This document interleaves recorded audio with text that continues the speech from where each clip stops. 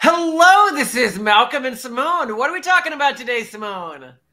Well, do you remember that time on Twitter where suddenly a bunch of muscular people started sending us pictures of themselves working out in skimpy clothing and also threatening to throw us into lockers? I do remember that time. That was fun. So, you may remember from our last post, we were talking about sort of the theory of Twitter. So we hadn't really used Twitter before Elon Musk acquired it just because it wasn't interesting to us. And uh, afterwards, it became sort of this collective. Um, uh, it, it, got more interesting. I'll say that. Uh, and so we were like, okay, let's let's give it a shot. You know, it's it's back in the zeitgeist again. Um, and we really began to sort of learn how to use it. And one of the things was was to piss people off. I mean, the especially communities, not just people. No, not people, communities. Yeah, so, and, and, specifically communities with which people closely identified. So this isn't like model train enthusiasts. This is especially anything that is visually identifiable and part of how people see the core of their their personal identities. That seems to be where like you twist the knife. Yes, and so we decided to um, was one of the ones we've done. So often what we do is we try to take what a community thinks of themselves and then subvert it. Like that's the best way to sort of try to engage a community. And one of these hooks was for the uh, quote unquote swole community or the weightlifting community. Um, because they're pretty big in the communities that are adjacent to us uh, on on in, in online spheres. So we did a series of tweets um, that made a number of points that were sort of designed to invert what they the way they want to be perceived. Um, so one was pointing out, uh, and this is like well backed by research. You can Google it. I love how people are like, this guy doesn't know what he's talking about. I I was a I am a published neuroscientist. I have an exhibit that I worked on still on display at the Smithsonian. I know a lot about the way the human brain works and and, and yeah I, I actually do know what i'm talking about when it comes to stuff like this. Um is that when a person is in a and, and we wrote a best-selling book on sexuality and relationships so those are also tied to this. Uh, when a person is uh, in a long-term monogamous relationship a male specifically uh, but this also happens in females their testosterone decreases pretty dramatically. Um, and testosterone is going to be much higher in individuals who are single um, and actually highest in individuals in polyamorous relationships. However, since uh, like us, many of the weightlifting community are on the right-leaning part of the spectrum, you know, they do aspire to be in long-term monogamous relationships. So I pointed out that alongside a second fact, which is that when you have a child as a male, uh, your testosterone decreases. Uh, it's not clear whether this decrease is permanent or temporary, only when the child is an infant.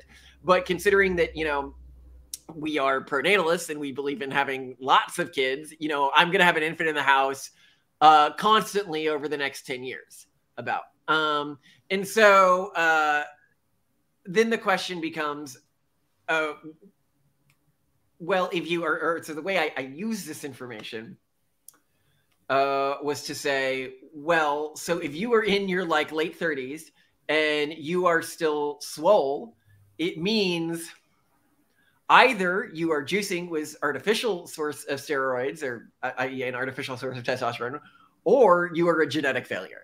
Um, because they are often trying to present this like, oh, you know, I'm very desired because of this. I'm extra masculine because of this. So we thought we'd do a little inversion of this. Well, yeah, but I mean, in other words, though, I mean, what what we were sort of arguing you're looking at is um, males seem to hormonally have higher levels of testosterone when their bodies are like oh, I'm in go big or go home mode. I need to be high risk, high reward. Like until something is telling, signaling to my body that I'm in a stable position, that I am safe, that I am doing well in life, I need to take a lot more risks because that's kind of the male strategy. Um, and if you see someone whose body is is apparently hormonally op- optimized around taking risks, the the insinuation is that that body is responding to signals of i'm failing i'm alone i am not loved i am not secure i am not safe and i don't feel safe and i don't have kids yeah yeah well okay so, so i'm going to take a few steps so testosterone actually does decrease in individuals when they're not in positions of local dominance in their social hierarchy. Yeah, when they're sort of giving up. Yeah, yeah, yeah, yeah. Unemployed people have lower testosterone. Yeah. So yeah, if you do give up, like if you submit yourself to a system where you are at the bottom of a social hierarchy, your testosterone does go down. So it's not absolutely true what you're saying, but the larger piece there being that males as a human gender are sort of the disposable gender. And this isn't just like a cultural thing. It is to a large extent historically biologically true. You know one man could have many wives um, but there was not an increase in reproductive capacity if one woman had uh, many male partners. Um, and because of this uh, testosterone um, in males um, it causes a lot of negative effects. It, uh, it's, it's really sort of eating away at your body the longer you have testosterone. And, and it does a lot of other things that can cause like shorter lifespans and stuff, you know, causing increased risk taking behavior, stuff like that. But all of those things are useful if you are trying to secure a mate.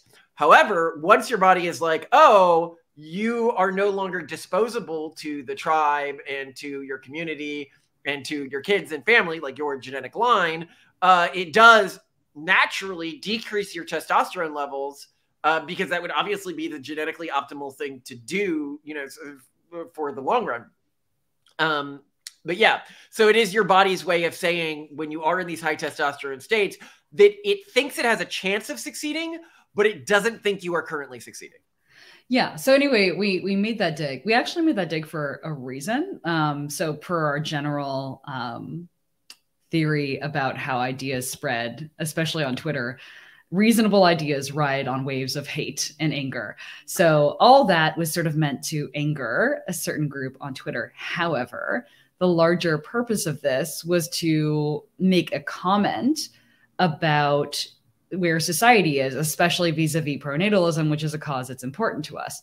So we live in a society that for both men and women idolizes a life stage that really should be only idolized when you are an adolescent. So, um, both men and women, even in much later stages of life, are incentivized to appear physically like a very fertile adolescent or like 20 something human um, instead of as like a parent or a mentor or a tribal elder. Um, and so a lot of Madonna, people, I'm just thinking of the the ghoulish sort of, you know, trying to look like a child. Continue. Well, and you, I mean, you see this a ton. You know, you see this with like a lot of media figures, especially women, like still trying to look like teenage girls, which is, it's not a great look. So we're, we're trying to comment on the fact that that's happening. And uh, a comparison that you really made, which I love, has to do with a, a okay, child so celebrity. This. this. is another thing that we included in the tweet thread that went really well, and it's yeah. I, I I do really love this comparison, and I make it all the time. Which is as a person goes through life, you go through sort of multiple puberty-like stages. Uh, before you go through puberty, people warn you the things that make you happy are going to change. Your biochemistry is going to change. Uh, the way you relate to your environment is going to change. And we all recognize this, even if we haven't gotten past this, the teen stage, which I think many people in society haven't because we've kind of been brainwashed. But everyone can remember how much fun it was to imagine and how it's really hard to keep enjoying that now, even if you try. Even if we like stopped right now and played The Floor is Lava and maybe had a little bit of fun, it wouldn't be quite the same. Exactly. All right, sorry, we cut the tape there because we wanted to make a note for a future episode. Uh, because it's really important to remember that uh, you are the descendant and only the descendant of people who went through this change during puberty, or mostly people who went through this change during puberty, that motivated them to do things that led to them having kids. For men, that's often uh, getting obsessed with sex and sexuality. However, you are also the descendant of men who were successful parents. And that requires a very different set of optimization patterns, desires, everything like that. So, the same way that the things that make you happy change, the, the your sources of, of, of, desire change when you go through puberty, um, the same thing happens again after you have kids because your biology is tooled to do this. Um, and the same thing happens again when you go through menopause or you enter this elder stage, like after the kids leave your house.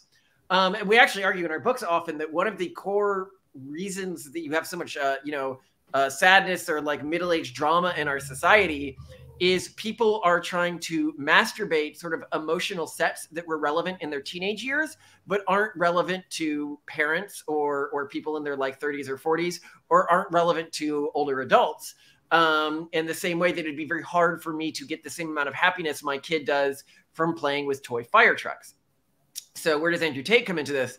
Well it's interesting to us because he is a representation of uh, sort of an immediately post puberty male's iteration of what they think the perfect adult life is like, in the same way that Blippi, a children's character, uh, he um, is similar to like a Blues Clues sort of guy. I don't know, Scott or whatever from Blues Clues, where he would uh, dance around uh, fire trucks or uh, police cars about how happy he is and pushing the buttons and playing with toys and as a young kid, you look at this and you're like, this guy has the best life.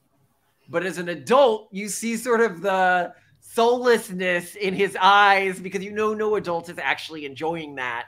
Um, and in the same way, you know, as an adult, when you go and you watch these Andrew Tate interviews, you see him being trapped in these scenarios that he doesn't want to be in. Um, uh, for example, uh, I love one interview. He's like, "Yeah, you know, I need to have sex with these women multiple times a day, um, and it's really like a job because if I'm not doing a good job pleasing them, then they lose loyalty, and that loses an income source for me." And you could tell, like, he was really sort of uh, beholden to this lifestyle he was not interested in. And I know to a young guy, the idea of having to please multiple women a day to a certain level of satisfactory, that sounds great. That sounds like heaven.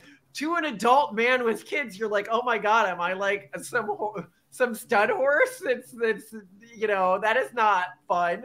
Um, and it's hard to imagine how your biology is going to change before you are genetically successful, before you do have a lot of kids that you are raising with a woman who's dedicated to you. And so but I think what the the whole Twitter thing really revealed to me, especially based on the way people reacted to it. And we have a whole theory around what makes you react to something with offense. In other words, we, you know, if someone accuses you of something completely ridiculous and preposterous that you don't think could possibly be true, you won't be offended because it's not even close to being true. There's nothing threatening about that statement. Um, but it did seem that that a lot of weightlifting community members on Twitter were deeply offended by what we said, which implied to us that there was a kernel of truth. And and to me, I think that that's you know it's more than just Andrew Tate, like you know exemplifying people chasing after this well, unsustainable. Um, or to, yeah, I'd love no to go with this thread, but to wrap up the the previous thread, um, the reason why it's important for us to disintermediate this and the reason why we're interested in disintermediating it isn't just for pronatalism um, well it is partially for pronatalism but the idea uh, that we are selling to young people that they will be satisfied living the ideal life of a 20 something when they're in their 30s and 40s and that's the life they often plan for and make costly sacrifices around won't actually make them satisfied as an adult um, and it will actually be deeply unsatisfying as an adult. Um, and and you are biologically optimized in the same way your ancestors were to sort of go through this cycle of having kids and everything like that. And um, when you optimize around figures like Andrew Tate, uh, it will lead to deep systemic unhappiness and, and sort of desperate behavior patterns as you get older. Now, well, but also it's it's worse than that, Malcolm, because then okay, let's say that you make lifelong decisions around this as, mm-hmm. as a younger person, that's really damaging.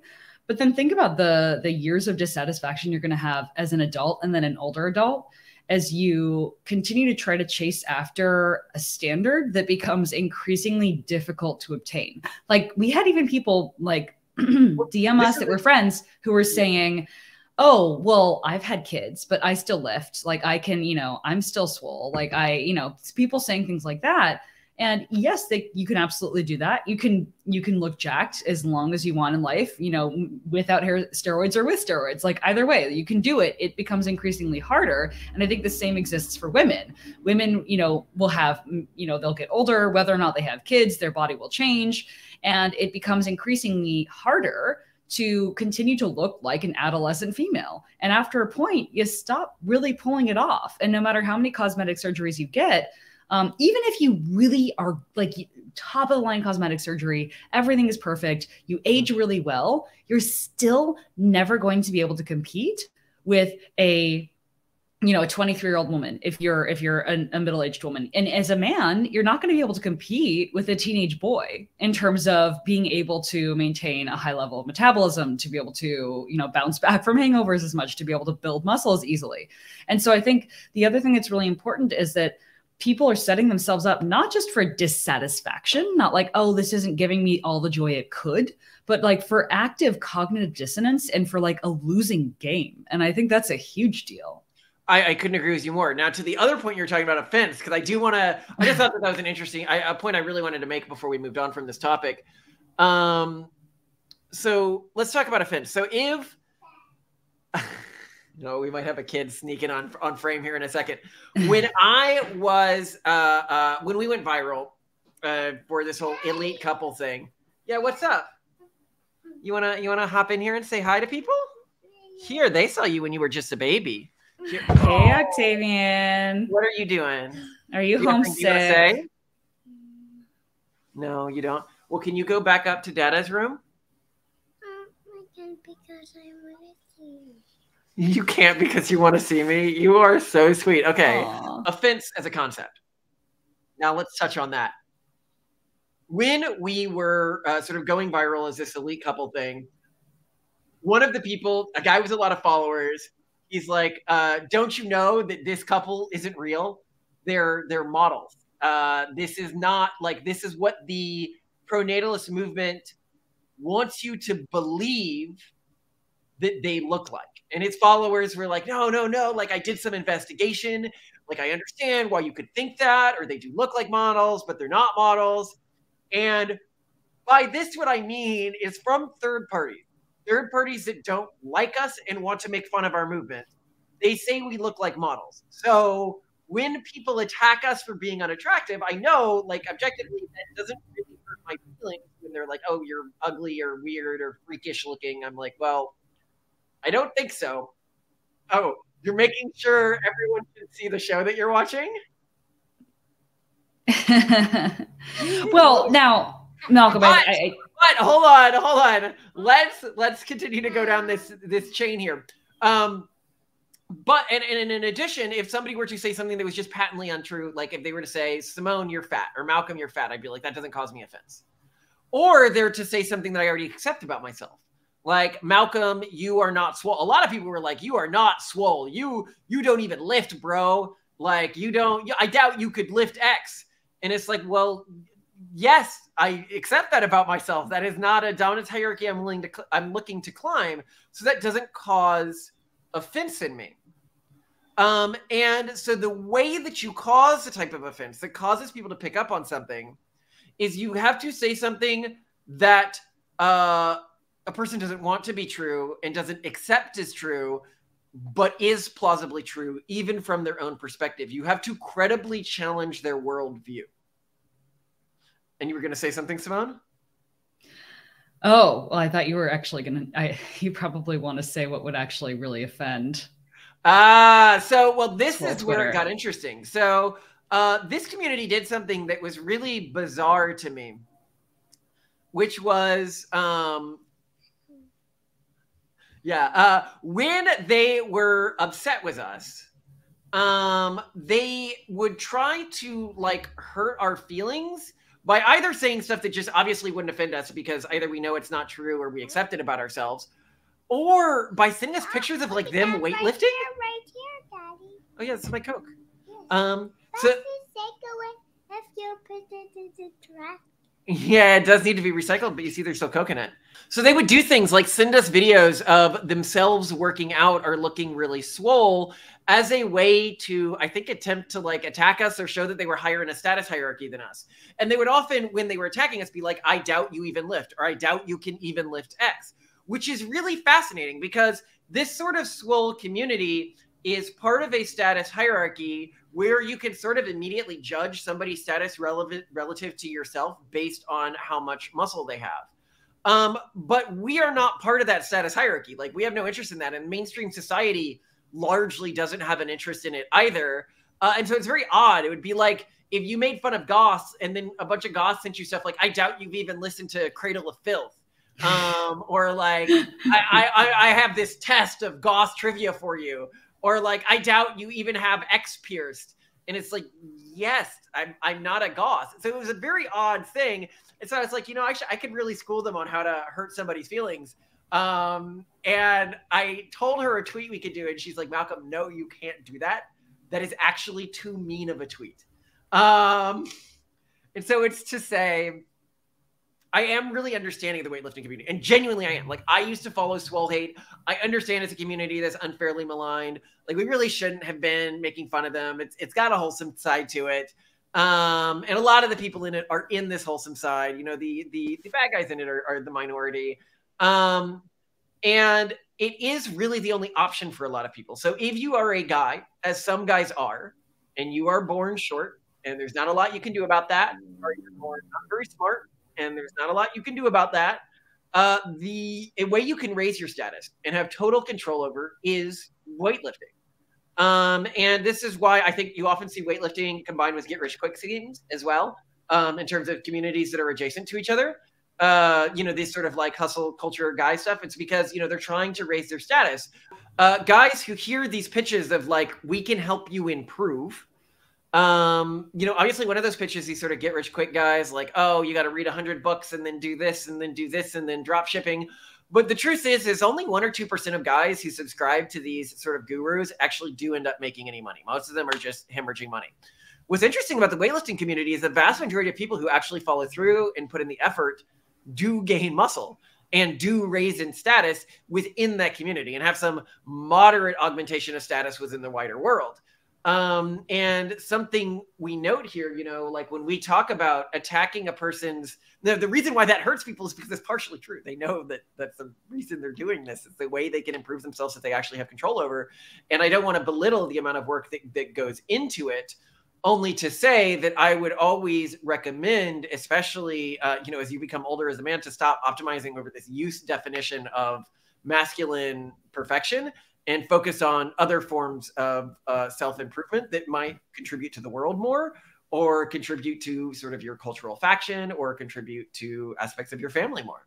And or when you want to insult someone you need to try to model them as effectively as you can. Yeah. model their values and their aspirations um, and then attempt to attack that because that is the only way that you will actually offend them um, which actually dovetails with our, our theory of anger. So if you want to anger someone mm-hmm don't treat them in accordance with how they expect to be treated. That's your theory on anger, Malcolm. Whereas offending yeah, so- someone means pointing out something about their worldview that kind of questions a fundamental underpinning in a way that's very scary. The core thing that causes anger, we argue in our books, um, is when somebody or the world uh, doesn't react to you or something you have done in the way that you expect them to.